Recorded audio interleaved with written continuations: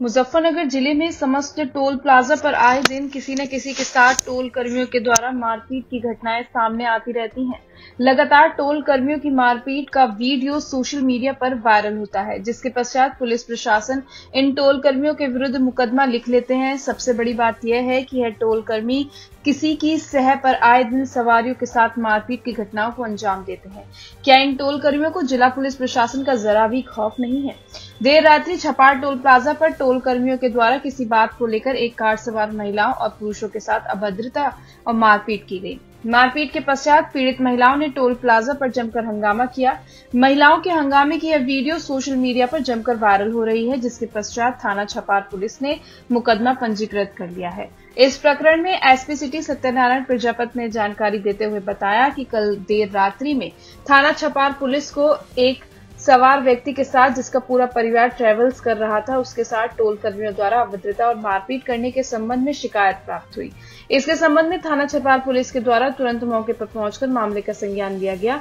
तो यह पता चला कि कार सवार जो परिवार था, उसके द्वारा टोल का भुगतान किए जाने को लेकर टोल कर्मियों से विवाद हो गया।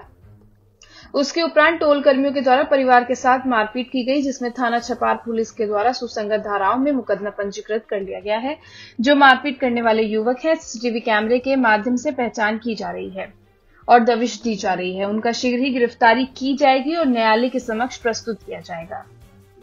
कल देर रात्रि में थाना छपार पुलिस को टोल पर एक कार सवार व्यक्ति के साथ और उनका पूरा परिवार जो ट्रैवल कर रहा था, उनके साथ टोल कर्मियों द्वारा अभद्रता और मारपीट करने के संबंध में शिकायत प्राप्त हुई।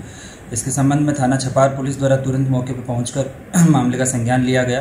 तो ये पता चला कि जो कार सवार जो परिवार था, उनके द्वारा टोल का भुगतान किए जाने को लेकर टोल कर्मियों से विवाद हो गया।